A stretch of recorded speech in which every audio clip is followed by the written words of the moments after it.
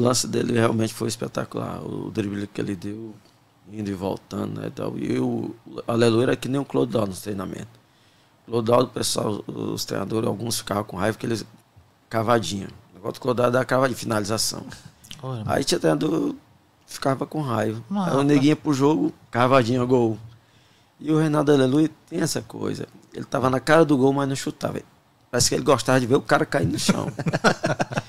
Pá, e voltava. Foi o que aconteceu nesse lance. Ele fazia isso no treinamento também, tá ligado?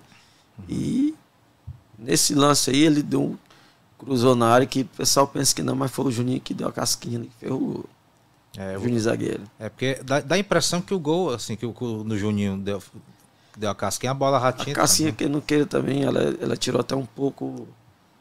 Se a bola ia, entre aspas, na mão do Maisena, que era o goleiro na época, ele distanciou um pouco mais a. É, e e a, e a- a chegada do Juninho também assusta a reação do. Isso, da- a passagem dele faz com que o goleiro fica é, meio. que não não haja, isso, que não haja espaço por Maisena interferir nem outro jogador, né? Então, Verdade. diretamente, né?